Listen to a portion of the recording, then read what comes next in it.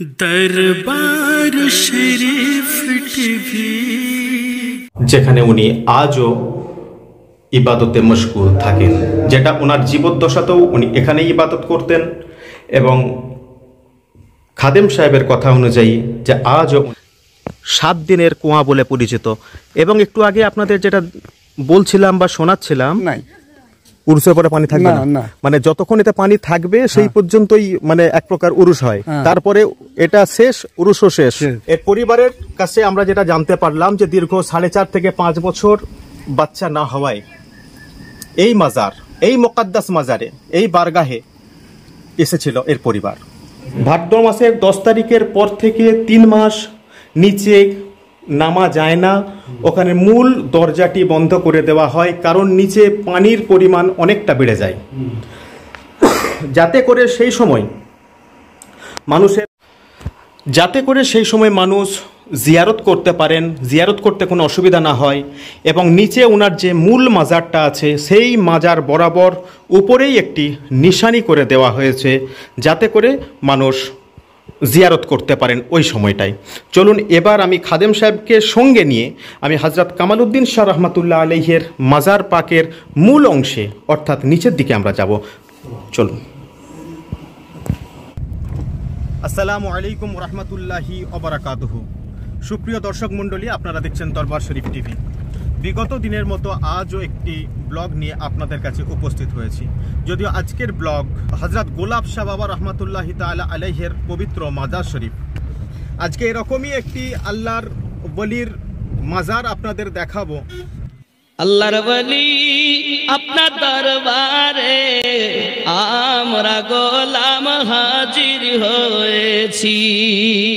নয়ন দিয়ে নয়ন পাগল করলে আমার মন নয়ন দিয়ে নয়ন। পাগল করলে আমার মন, এখন প্রেম জ্বালা জলে যে অন্তরে। সুপ্রিয় দর্শক মণ্ডলী, আমরা এসে পৌঁছে গিয়েছি হজরতে গোলাপ শাহ রহমাতুল্লাহ তালা আলহের পবিত্র মাজার শরীফ এবং একই সাথে উনারই ছেলে হজরত কামালউদ্দিন শাহ রহমাতুল্লাহ তালা আলহের মাজার শরীফ। আমরা এখন মাজারের মধ্যে প্রবেশ করছি এবং আমরা সরাসরি আপনাদের মাজারগুলো দেখাবো এবং তারপরে এই সম্পর্কে বিস্তারিত আপনাদের সঙ্গে আলোচনা করব ইনশাআল্লাহ তালা চলুন, আমরা এখন মাজারের দিকে প্রবেশ করছি। সুপ্রিয় দর্শক মণ্ডলী, আপনারা দেখতে পাচ্ছেন হজরতে গোলাপ শাহ রহমতুল্লাহ তালা আলিহের পবিত্র মাজার শরীফ এবং হজরতে গোলাপ শাহ রহমতুল্লাহ আলিহের পবিত্র মাজার শরীফ এবং ওনার কারামত সম্পূর্ণটাই আপনাদের কাছে তুলে ধরবো তবে তার আগে সর্বপ্রথম আপনাদের মাজার শরীফের ভিউটা আপনাদের দেখিয়ে দিচ্ছি। তারপর ইনশাআল্লাহুল আজিজ ওনার কারামাত এবং ওনার সমস্ত বিষয়ে তথ্যমূলক আলোচনা আমরা খাদেম সাহেবের সঙ্গে করব এবং আপনাদের কাছে তুলে ধরবো ইনশাআল্লাহ তাআলা। হজরত গোলাপ শাহ রহমতুল্লাহ তালা আলাই এবং তার পাশেই মাজার হচ্ছে ওনার স্ত্রীর অর্থাৎ পীর আম্মার মানে কবর এবং মাজার শরীফ হচ্ছে ওনার পাশেই, একই সঙ্গে আছেন। চলুন এরপর আমরা আপনাদের দেখাবো ওনারই আওলাদ হজরতে কামাল উদ্দিন শাহ। হজরত কামাল উদ্দিন শাহ রহমতুল্লাহ তালা আলাইহের পবিত্র মাজার শরীফ। আমরা পেয়ে গেছি, আমাদের সঙ্গে খাদেম সাহেব আছেন। চলুন।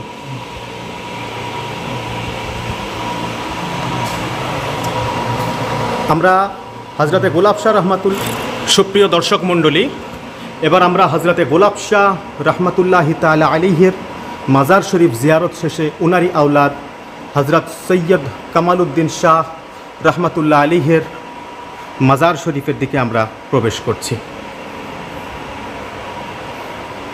আসসালাতু আসসালামু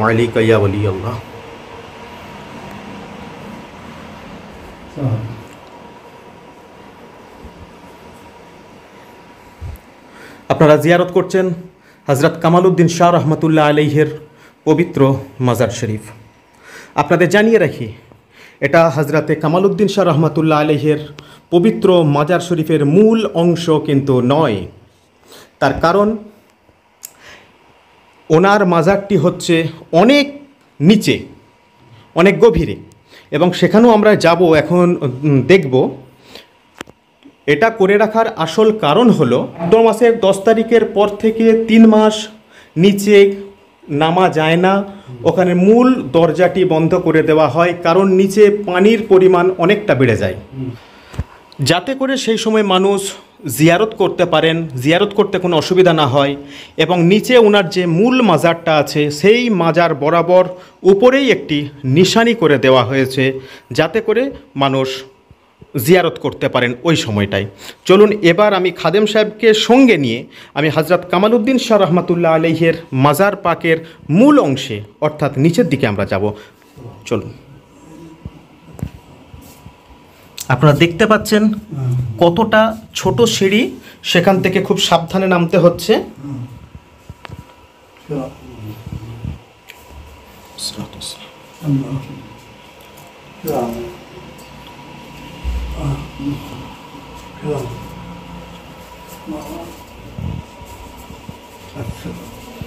আমরা এখন নিচের দিকে নামছি। হজরত কামালউদ্দিন শাহ রহমতুল্লাহ আলহের পবিত্র মাজার পাকের মূল অংশে।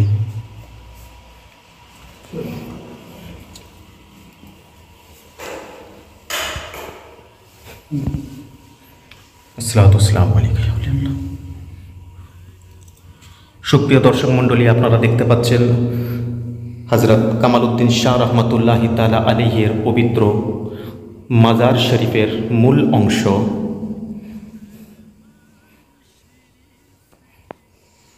আপনারা জিয়ারত করতে থাকুন। এরকম একটি মুতাবার এরকম একটি মর্তাবাপূর্ণ আল্লাহর ওলির মাজার শরীফ আপনারা দেখতে পাচ্ছেন সরাসরি দরবার শরীফ টিভি ইউটিউব চ্যানেলে। আপনারা নিজেরা দেখুন এবং অপরকে দেখার সুযোগ করে দিন। আপনারা জিয়ারত করুন এবং এরপরে আমরা আলোচনা করব যে ইনার মাজারটি এত নিচে বা এত গভীরে হওয়ার কারণ কি সেটা খাদেম সাহেবের সঙ্গে আমরা আলোচনা করব। আল্লাহর বলি আপনার দরবারে আমরা গোলাম হাজির হয়েছি। নয়নে দিয়ে নয়ন নয়ন যারা যারা এখনও পর্যন্ত এই মাজার পাকে আসার সুযোগ হয়ে ওঠেনি আপনারা প্রত্যেকেই জিয়ারত করুন। দিয়ে নয়ন পাগল করলে আমার মন। এখন প্রেম জ্বালা জলে যে অন্তরে। আল্লাহর বলি আপনার দরবারে আমরা গোলাম হাজির হয়েছি। আহা প্রথম যেদিন দেখে আমরা হাজরাতে কামালউদ্দিন শাহ রহমতুল্লাহ তালা আলিহের কিছু কারামত সম্পর্কে আমরা এবার খাদেম সাহেবের কাছে জানব। বলুন হাজরতে কামালউদ্দিন শাহ রহমতুল্লাহ তালা আলিহের সর্বপ্রথম কবর কোথায় দেওয়া হয়েছিল ওনাকে? ইনি ওইখানে দেওয়া হলো ওনার বাবার হুকুমে। কোথায়? এখানে এখানে মানে যেখানে বর্তমানে হজরতে গুলাব শাহ রহমতুল্লাহ তালা আলাইহের মাজার মোবারক আছে আচ্ছা, সেই জায়গাতেই সর্বপ্রথম দেওয়া হয়েছিল হজরতে কামাল উদ্দিন শাহ রহমতুল্লাহ আলাই অর্থাৎ ওনার ছেলেকে। এই এই জায়গায়। আচ্ছা। দিন পর একুশ দিন পর ওনাকে বের করানো হয়েছিল। এই কারণে যে উনি জোরে বলুন। ওনার বাবাকে পর্দা দেওয়ার পর ওখানে বাবার সঙ্গে ডেলি উনি বলতেন যে আমার তো ভিতরেই যাব আমি। পর্দা ছিল আমি ভিতরেই থাকব। আমি এখানে থাকব না। এইভাবে ওনাকে যখন করলেন তো উনি একটা মসজিদে যে সভা করলেন হ্যাঁ যে কী করা যায়? আমার ছেলে এরকমভাবে করেছে। বলে যদি এরকম কথা থাকে তাহলে ওটাকে ওইভাবেই করতে হবে। চলো সবাই মিলে। তখন ইংরেজ ছিল। ইংরেজরাও দৃশ্য দেখার আচ্ছা এটা ইংরেজদের আমলে হ্যাঁ, হচ্ছে। মানে সর্বপ্রথম আপনার কথা অনুযায়ী সর্বপ্রথম ওই জায়গায় হজরত কামালউদ্দিন শাহ রহমতুল্লাহ তালা আলাইকে দাফন করা হয়। পরক্ষণে উনার আব্বাকে উনি যেভাবে হোক উনি জানান। পর্দার পরে উনি জানান যে এটা ওনার আব্বার কাছে আর্জি রেখেছিলেন। তখন ওনার আব্বা আবার বিভিন্ন মানুষের সঙ্গে আলোচনা করে ওনার লাশ মুবারককে তোলা হয়েছিল। এটা ইংরেজ পিরিয়ডে। হ্যাঁ কতদিন পর এটা করা হয়েছিল? একুশ দিন পর। ইন্তেকালের। দাফন করার একুশ দিন পর ওনার লাশ মুবারককে ওখান থেকে তোলা হলো।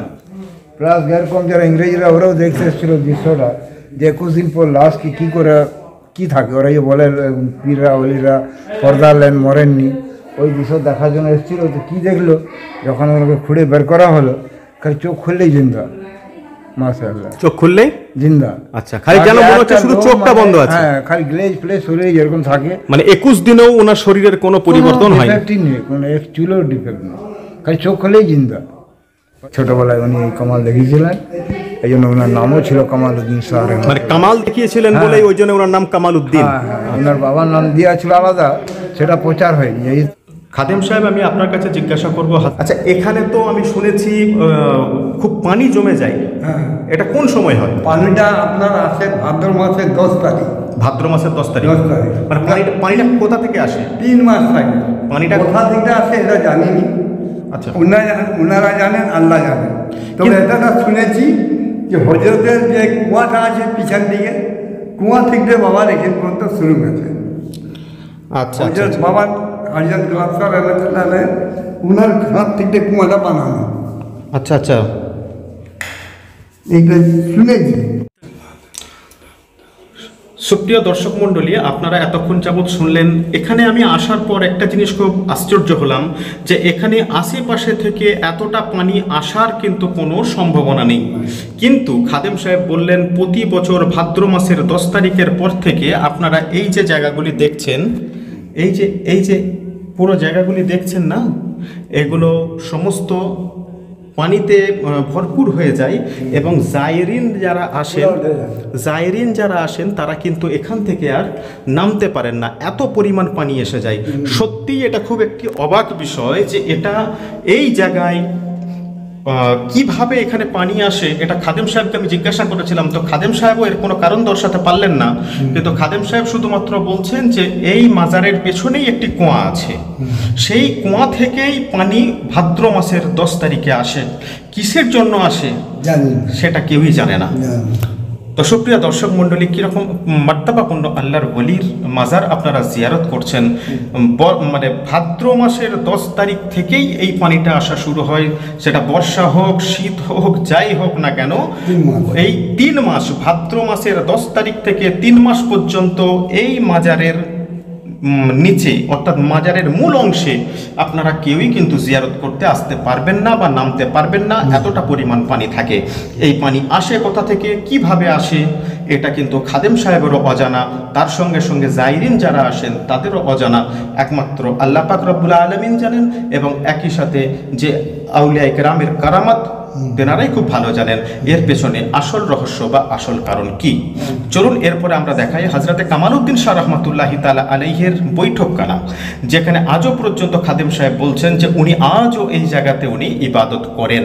চলুন এবার আমরা দেখি আপনাদের, দেখাই আপনাদের বৈঠকখানাটি। সুপ্রিয় দর্শক, আপনারা দেখতে পাচ্ছেন হজরত কামালউদ্দিন শাহ রহমতুল্লাহ তালা আলাইহের ইবাদত গাহ যেখানে উনি আজও ইবাদতে মশগুল থাকেন। যেটা ওনার জীবদ্দশাতেও উনি এখানেই ইবাদত করতেন এবং খাদেম সাহেবের কথা অনুযায়ী যে আজও উনি এই জায়গাকেই ইবাদতের জন্য উনি বেছে নিয়েছেন। আজও উনি এই জায়গাতেই ইবাদত করেন।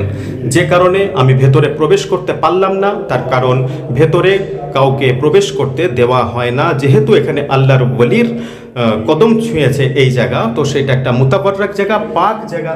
সেজন্য আমরা ভেতরে প্রবেশ করতে পারলাম না। আপনারা এই মুহূর্তে জিয়ারত করছেন হজরত কামালউদ্দিন শাহ রহমতুল্লাহ হিতালা আলাইহের বৈঠকখানার ভেতরের অংশ।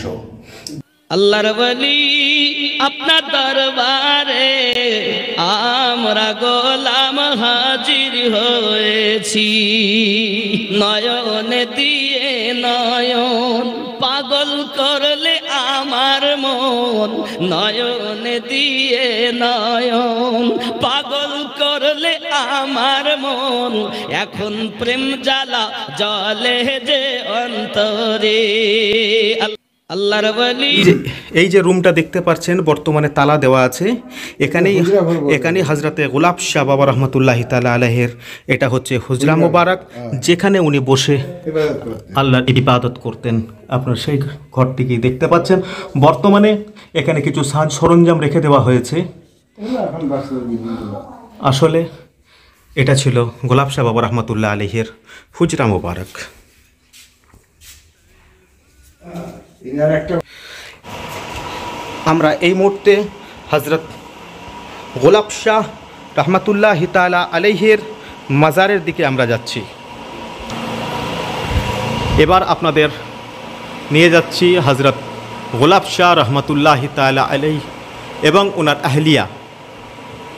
দুজনের মাজার আপনাদের সরাসরি দেখাচ্ছি এবং হজরত গোলাপ শাহ রহমতুল্লাহ আলিহের মাজার সম্পর্কে বিস্তারিত তথ্য আপনাদের সামনে তুলে ধরব ইনশাআল্লাহ। এই অলিকে মাধ্যম করে, এই অলিকে ওসিলা করে বহু মানুষ আল্লাহর দরবারে ফরিয়াদ করে, রোগ মুক্ত থেকে শুরু করে বহু মনের আশা, আকাঙ্ক্ষা পূর্ণ করেছেন। হজরত গুলাব শাহ রহমতুল্লাহ আলী মাজার কোনটা? এদিকেরটা। আপনারা এই মুহূর্তে এটা যেটা দেখছেন, এই যে এই যে মাজারটা দেখছেন, এটা হচ্ছে হজরত গোলাপ শাহ রহমতুল্লাহি তালা আলিহের মাজার। এবং ওদিকে যে মাজারটা দেখছেন সেটা হচ্ছে ওনার আহলিয়া অর্থাৎ পীর আম্মার মাজার হচ্ছে ওই ওই দিকেরটা অর্থাৎ এটা।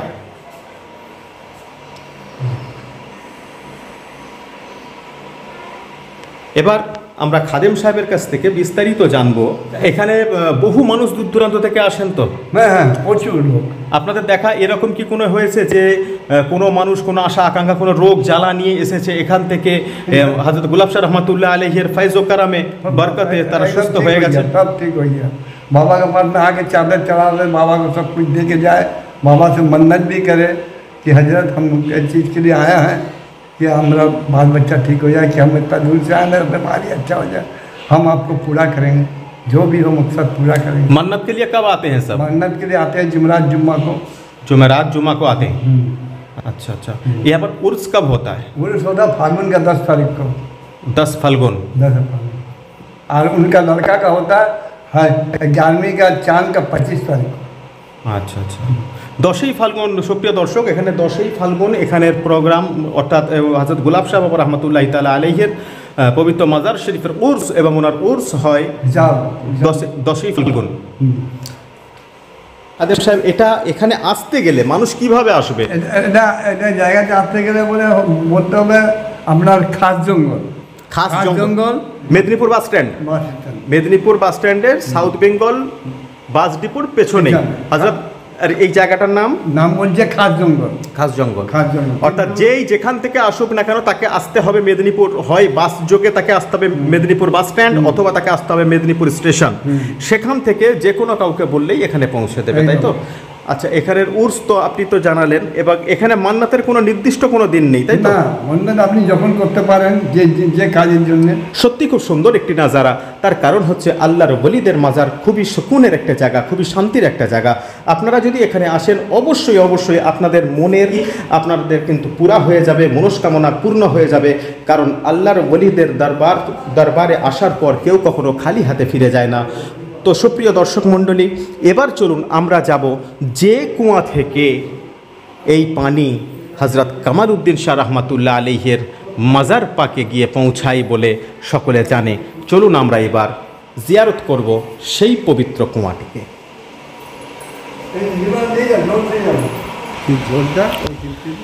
খাদেম সাহেবের বক্তব্য হচ্ছে এই জায়গা থেকে এই হজরতে গোলাপ শাহ রহমাতুল্লাহ আলহের মাজারের কাছ থেকেই যে কুয়াটি আপনাদের দেখাবো, ওই কুয়া থেকে এই রাস্তা ধরেই একটি সুড়ঙ্গ করা আছে।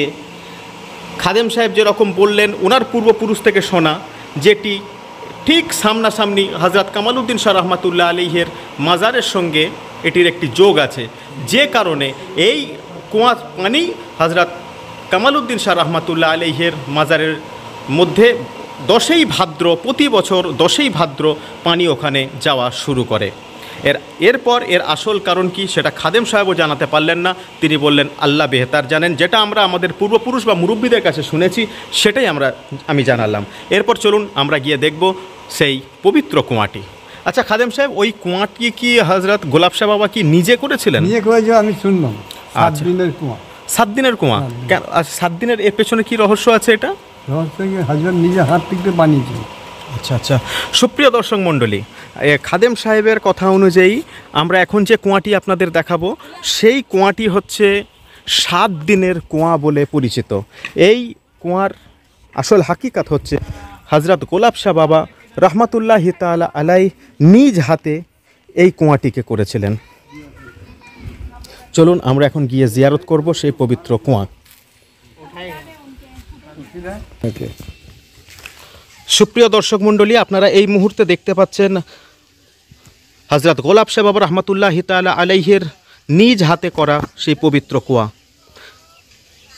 আমরা হয়তো আপনাকে আপনাদের সকলকে এর গভীরতা দেখাতে পারব না। প্রচণ্ড গভীরতা এবং প্রচুর বড় জায়গা নিয়ে এরকম একটি কুয়া যেটি সাত দিনের কুয়া বলে পরিচিত।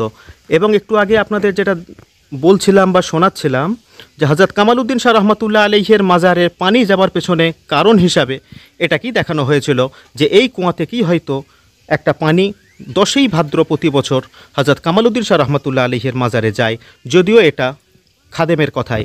জানি না আল্লাপাক বেহতার জানেন। এই মুহূর্তে কুয়া সম্পূর্ণ শুকনো আছে, আপনারা দেখতে পাচ্ছেন। আপনারা এই মুহূর্তে জিয়ারত করছেন হজরত গোলাপ শাহ বাবা রহমতুল্লাহি তালা আলহের নিজ মোকাদ্দাস হাতে তৈরি করা সাত দিনের কুয়া। যারা এরকম একটি মোতাবরক জায়গায় আসতে পারেননি, তারা অবশ্যই নিজে দেখুন, নিজে জিয়ারত করুন এবং সাথে সাথে অপরকে দেখার মতো সুযোগ করে দিন।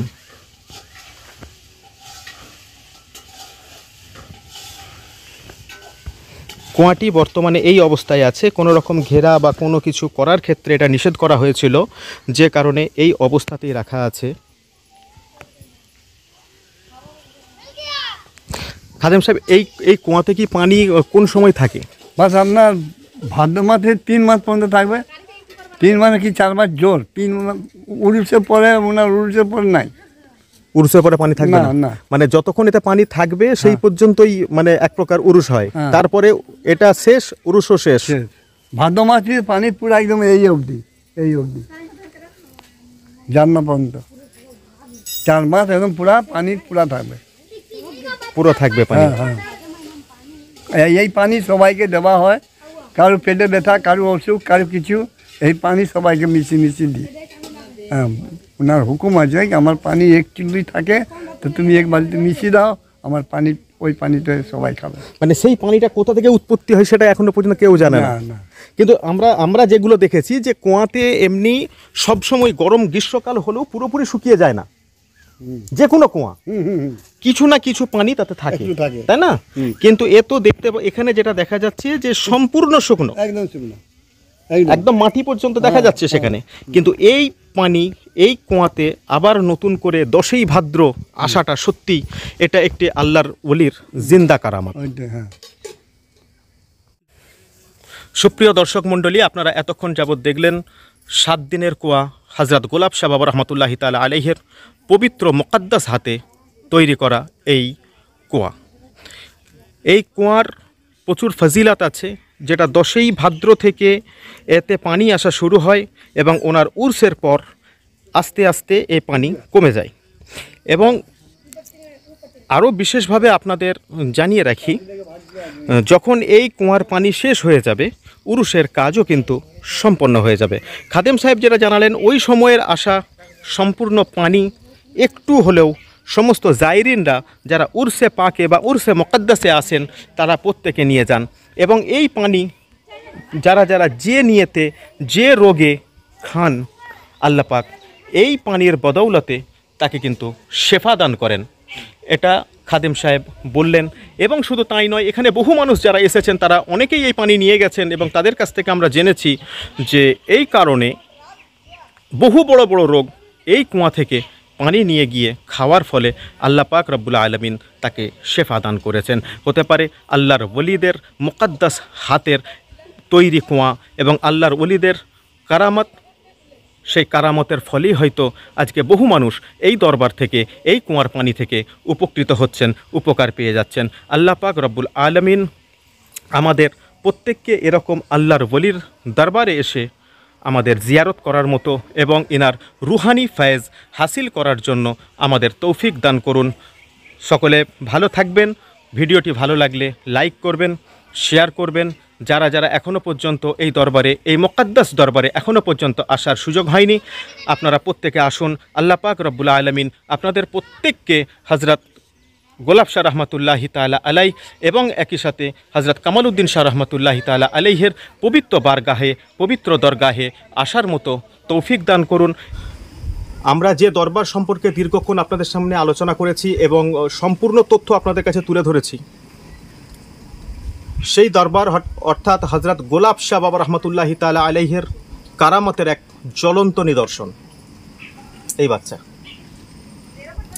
এর পরিবারের কাছে আমরা যেটা জানতে পারলাম যে দীর্ঘ সাড়ে চার থেকে পাঁচ বছর বাচ্চা না হওয়ায় এই মাজার, এই মোকাদ্দাস মাজারে, এই বারগাহে এসেছিল এর পরিবার।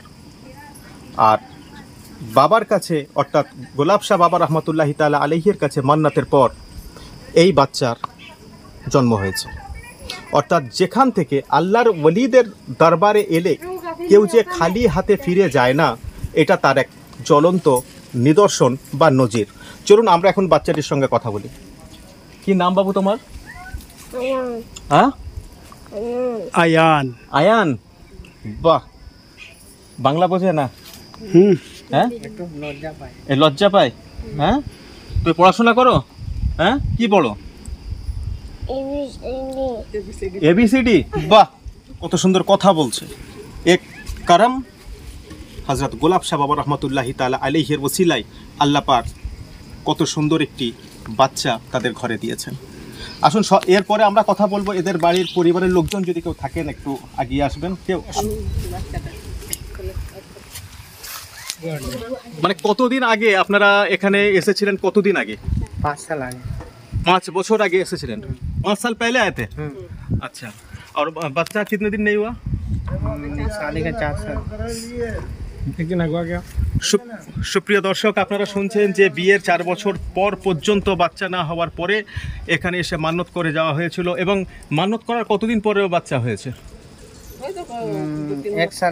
এক বছর পর এক বছর পর মাশাল্লাহ সুপ্রিয় দর্শক তার বাড়ির লোকজন যেটা বললেন যে বিয়ের চার পাঁচ বছর পরেও বাচ্চা না হওয়াতে এখানে এসে মান্যত করে যাবার পর তার পরের বছরেই এনাকে বসিলা করে আল্লাহ পাক রব্বুল আলমিন তার বাড়ির লোকজনের মুখে হাসি ফুটিয়েছেন। এই বাচ্চা হচ্ছে হাজরাতে গোলাপ সাহেব রহমতুল্লাহি তালা আলিহের কারামতের এক চলন্ত নিদর্শন। আজকে আপনারা কি করতে এসেছেন? মান্নাতটা এই করার জন্য মান্নাত পুরা পুরি হই হ্যাঁ মান্নাত আচ্ছা। দোকানে কে লিয়ে আয়ে।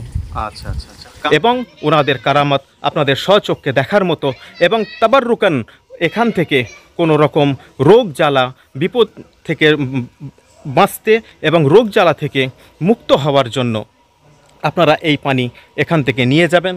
এই পানির মধ্যে শেফা আছে। আল্লাহ পাক রব্বুল আলমিন আমাদের প্রত্যেকের দিলি মুরাদকে পুরা করুন। আল্লাহর ওলিদের রুহানি ফায়েজ আমাদের প্রত্যেকের দিলে, আমাদের প্রত্যেকের অন্তরে দান করুন।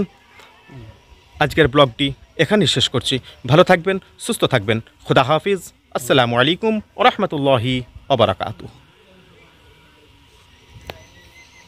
دربار شريف تبي